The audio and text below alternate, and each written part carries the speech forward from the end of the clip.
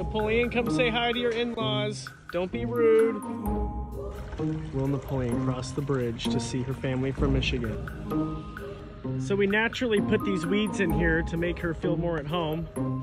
That's a complete lie. I just haven't had time to weed this area. All right. Want to give her a kiss on the beak?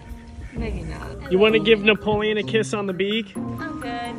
Why does no one want to kiss? Oh, I guess it's not very, yeah.